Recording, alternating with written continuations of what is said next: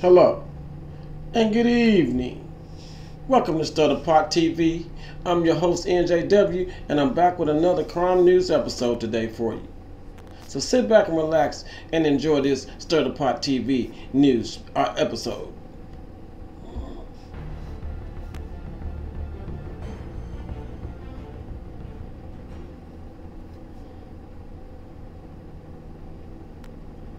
Authorities are investigating after a 34-year-old man was fatally shot in a drive-by shooting over the weekend.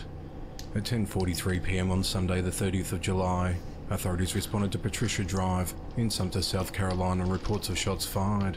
When deputies arrived, they found Anthony Rashad Major deceased outside his home from gunshot wounds. Upon further investigation, detectives learned that Anthony was shot with numerous rounds fired from a vehicle driving by his home. Sheriff Anthony Dennis from the Sumter County Sheriff's Office said they're focused on finding the person or persons responsible and will follow every piece of information for as long as it takes to bring justice. No other injuries were reported, and the motive of the attack is unclear as the investigation into the matter continues. Now, Sumter, South Carolina, I think it's under 100,000 people there. So I'm pretty sure they'll find out who did this before breakfast.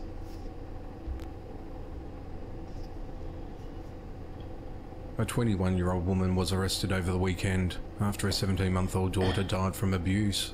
Erica Lawson of Mount Vernon, Kentucky is charged with second degree manslaughter and first degree criminal abuse against a child under 12. She was also charged with first degree wanton endangerment and failure to report child neglect. On Friday, the 28th of July, the child was initially admitted to Middlesboro Hospital with signs of physical and sexual abuse, and due to the extent of the injuries, she was flown out to children's Did he say sexual abuse? Is they accusing his the mother of sexual abusing the baby, or what? Just her and put her away. hospital in Knoxville. She was placed on life support, but the child's injuries were too severe for her to recover. The child had reportedly been raped and beaten, and was brain dead by the time she died on Sunday night. On Raped and beaten. Now they haven't mentioned a male yet. So are they insinuating that the mother did this? The 30th of July, the Middlesboro Police Department quickly began an investigation to determine who was responsible for the abuse. That same night, Erica was interviewed by detectives and was arrested. She was transported to the Bell County Detention Center, where she's held on a million dollar bond. Authorities are currently investigating the incident and said they expect to make another arrest in the case soon. Oh, okay. So that's the other person that they're looking for. So it wasn't her. It was another person involved. She just ain't told it yet. She gonna tell it. Soon they give her a pizza. A 30 year old man will spend the rest of his days behind bars for torturing and sexually assaulting his girlfriend's toddler son. On Thursday, the 20- The rest of his life, they should have took his life. If he already got convicted, they already know he done it. Where's the fine squad? 27th of July, Jeremy Wilson was sentenced to life in prison without the possibility of parole in the California Department of Corrections and Rehabilitation for the torture and aggravated sexual assault of a two-year-old child. In February of 2020, the Placer County Sheriff's Office responded to a call regarding an attack on a two-year-old boy in Foresthill, California. A child was tortured, beaten, drugged, Then it was a little boy. It, it matter. It was just a child, period. But a little boy, lethal injection. and sodomized with an unknown object in his own home.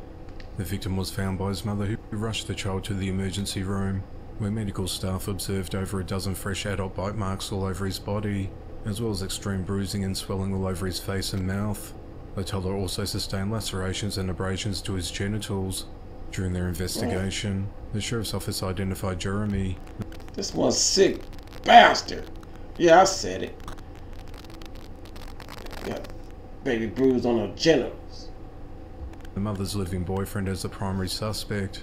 Two victim statements were reportedly read during Jeremy's sentencing, describing him as a monster who preys on young children. According to the statements, Jeremy shows a lack of remorse for what he did. Judge Michael Jones called the crimes indescribable, disgusting, violent, callous and cruel, as well as one of the worst things he's ever seen. The judge found that due to the gravity of the crime and the brutality of the attack on the young child, the maximum sentence is appropriate for the defendant. Supervising Deputy District Attorney Kalen Everett said in a statement, This crime was particularly heinous. The defendant took out his frustration with the child's mother on a toddler in the middle of the night. The victim had bruising, including bite marks from the top of his head to the tops of his feet, and on every body part in between. This assault was intended to be cruel and cause the child pain. The attack was an exceptionally depraved crime, and one of the worst crimes this country has ever seen. Jeremy is now where he belongs. I said they should let all the citizens get together and stoned him. Stoned him, stoned him, stoned him. In prison for the rest of his life, but he can never hurt another child again, she said. Police arrested a 31 year old man with a history of charges for sex crimes after he allegedly sexually assaulted a 14 year old girl. At around 7. What is wrong with the Americans with these kids? You Americans need to get y'all shit together. p.m. on the 20th of July, Joshua Black allegedly lured a young teen into the wooded area near the 17,700 block of Prince Philip Drive in Olney, Maryland and assaulted her. Police said they quickly developed Joshua as a suspect and took him into custody at his home in Olney without incident. He's charged with three counts of second degree rape and three counts of third degree sex offence. Joshua was booked into the Montgomery County Jail and is held without bond. In April of 2022, University of Maryland police arrested Joshua on sex offence and assault charges. Joshua also allegedly masturbated under a towel near a public pool in May and reportedly followed girls at a nearby high school, but was not charged. Now, this is several cases of people that just need to get sentenced on the spot. Is you're wasting taxpayers' money, but you're around here looking for us when you should be looking for everybody else. Now, this is another episode of Stir the Pot TV. Thank you for joining me today, and I'll see you guys same time, same channel.